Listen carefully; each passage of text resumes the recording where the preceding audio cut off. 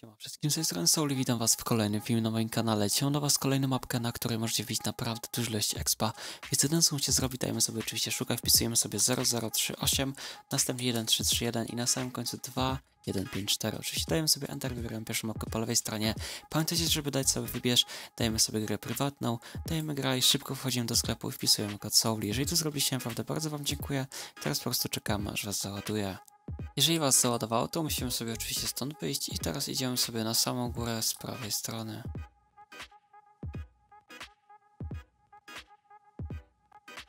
W tym miejscu robimy emotkę i czekamy aż to się nam po prostu otworzy. Wchodzimy tutaj i teraz po prostu musimy poczekać aż ten timer dobiegnie końca. Jeżeli czas to się skończy, musimy sobie wpisać kod 9195. Dajemy sobie oczywiście confirm, no i teraz musimy sobie wszystkich tych oponentów stąd wyeliminować.